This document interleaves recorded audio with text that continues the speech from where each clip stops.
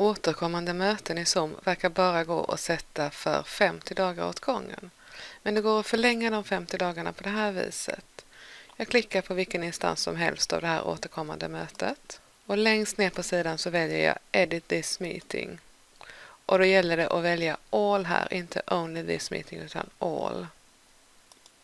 Och när jag nu har kommit in på mötet så kan jag här välja ett nytt slutdatum och sen gå längst ner och spara. Det var egentligen inte så komplicerat men det tog mig en stund att komma på att jag var tvungen att klicka på All.